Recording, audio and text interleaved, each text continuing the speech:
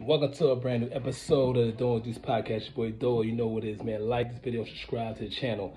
Alright, man. Ravens just, you know, parted ways with Wink Martindale.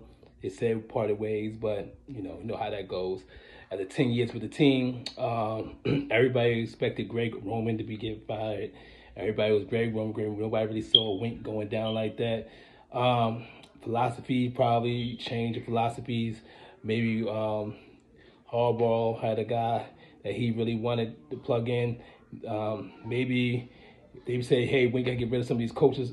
Rob Ryan, who didn't do nothing this year, nobody in the linebackers didn't get better. Whatever it was, you know, Wink probably like, oh, well, you know, I'm going to get a job somewhere, which he will.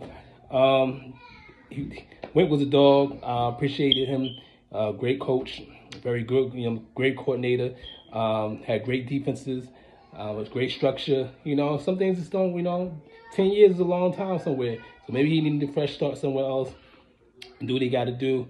Harbaugh, you, you know that they're going to they're gonna get somebody.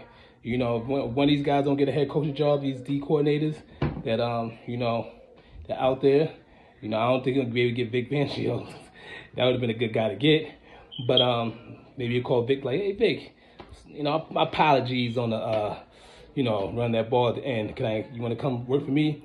But whoever you get, hopefully um, it works out. Ravens Nation, let me know how you feel in the comments section. Please let me know how you feel about the the um, firing, parting ways of Wink Martindale, uh, and what you think we should do next. All right, like, share, and subscribe. I'm out.